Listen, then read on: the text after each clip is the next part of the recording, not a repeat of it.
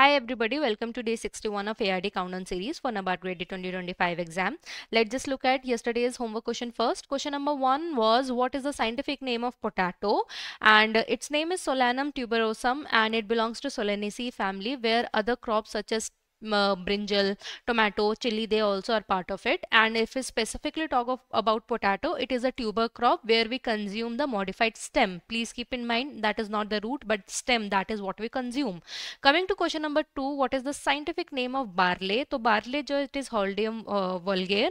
It belongs to your Gramineae or Poaceae family and it can uh, be grown in uh, drought like condition and uh, in fact uh, if there is salinity in soil barley is uh, tolerant to that as well. Coming to question number 3 what is the scientific name of groundnut so it is uh, Arachis hypogaea it belongs to your uh, leguminaceae family and it is uh, has a rich source of protein as well as oil content also around 45 50 percent of oil content.